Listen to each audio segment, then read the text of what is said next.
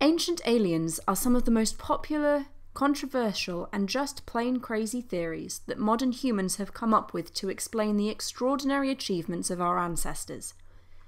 While amusing, they not only ignore the opinions of professional archaeologists and scholars, not to mention the ancient evidence, but are often born from a place of colonialism and racism.